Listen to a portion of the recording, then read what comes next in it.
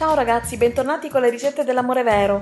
Io sono Claudia Enni e oggi ho preparato per voi una ricetta super veloce, pronta in soli 5 minuti, light e gluten free. Sto parlando della farinata di ceci in padella da non confondere mi raccomando con la cecina o farinata di ceci al forno, la cui videoricetta potete trovare qui in alto a destra nelle schede informative. Questa è un'alternativa gustosissima che non ha nulla di invidiare a quella originale, ma è perfetta per chi non ha tempo, chi non vuole mangiare cereali e anche per chi è a dieta. Andiamo subito a vedere cosa occorre per prepararla, ma prima sigla!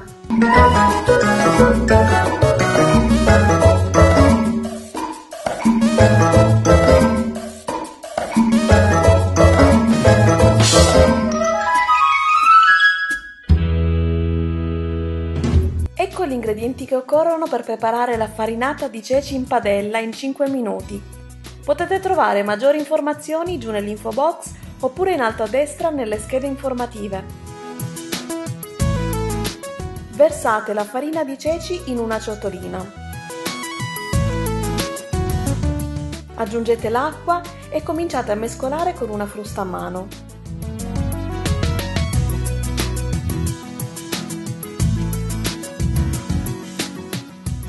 Unite poi un pizzico di pepe ed un pizzico di sale. A questo punto non vi resta che mescolare tutto formando una pastella lenta.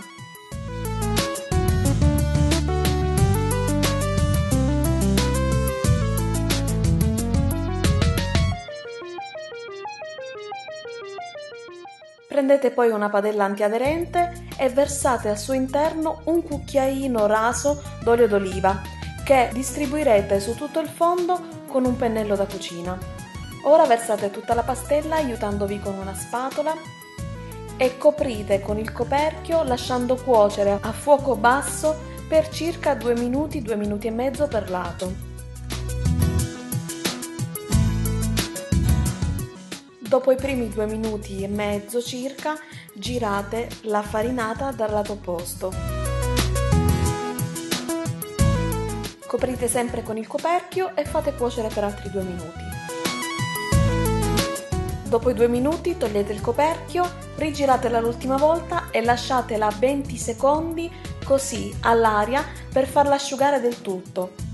E la vostra farinata di ceci cotta in padella in soli 5 minuti è pronta in tutto il suo splendore. Un gusto, ragazzi, da provare assolutamente. Tagliata a spicchi è ottima anche per i buffet e per le cene in giardino veramente gustosissima e molto facile da preparare. Ricordatevi che è perfetta anche per i celiaci e per chi è a dieta. Mi raccomando ragazzi, se vi è piaciuta questa videoricetta, regalatemi tantissimi pollici in su per far crescere il canale e iscrivetevi al canale per non perdere tutti i prossimi video. Io vi ringrazio sempre per il vostro affetto e vi invito a seguirmi anche su www.lericettedellamorevero.com e sui social Facebook, Twitter, Instagram e Pinterest.